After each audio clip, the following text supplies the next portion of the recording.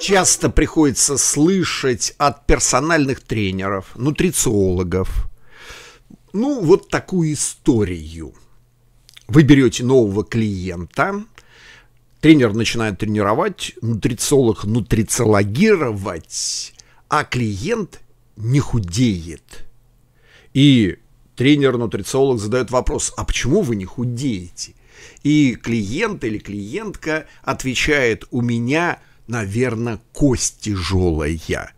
Под этим выражением подразумевается не буквально кость тяжелая, а то, что эта манипуляция, которую вы назначили, не работает, потому что у меня или у клиента такой набор генов, которые особенные и не реагируют на ваши вмешательства неопытный нутрициолог и тренер, который не подписан на канал «Веселая наука», насмехается и даже вот эта пословица ходит по полям фитнес-индустрии как некое, ну как бы некое, да, некий миф. Если вы даже загуглите, вы увидите миф о тяжелой кости, а в кавычках правильно понимать, о генах и понятно, что выходит мета-анализ по данной теме. Вообще, представляете, собрались российские ученые, поляки и англичане, чтобы совместно провести мета-анализ. Итак, усаживайтесь поудобнее. Времени у нас, как всегда, мало. Вперед-вперед к знаниям. Физические упражнения и диета начинают авторы систематического обзора являются хорошо известными и эффективными методами сжигания жира и улучшения здоровья сердечно-сосудистой системы. Однако, внимание, разные люди часто по-разному реагируют на один и тот же режим тренировок или план питания. В то время как отдельные люди могут подвергнуться значительной потере жира, другие могут наблюдать лишь ограниченный эффект. Широкий диапазон межиндивидуальных различий в увеличении веса, изменениях в составе тела, вызванных физическими упражнениями и диетами, привел к исследованию генетических факторов, которые могут способствовать индивидуальным различиям в таких реакциях. Этот систематический обзор был направлен на выявление генетических маркеров.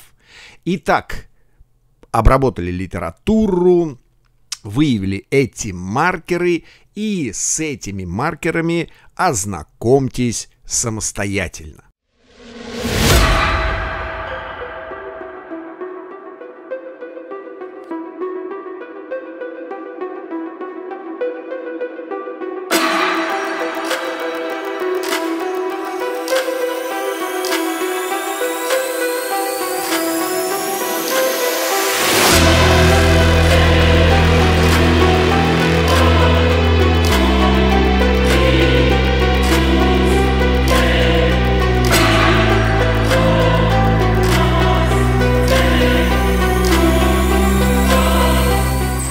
После выявления маркеров авторы систематического обзора сделали выводы.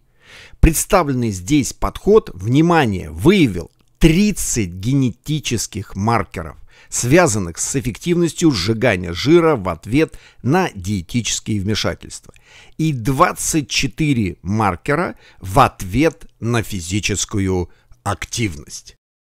На основании этого были представлены фенотипы бережливые, расточительные, описаны их предикаты.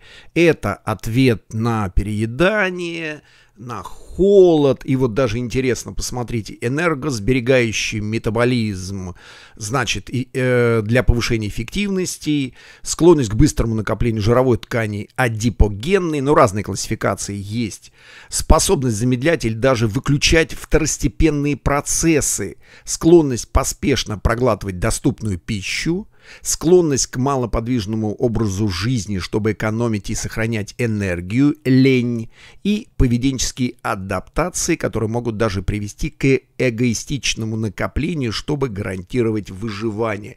То есть эти гены формировались миллионы лет, и, естественно, и вы видите, описаны они, найдены они, и, соответственно, с этим нужно научиться работать.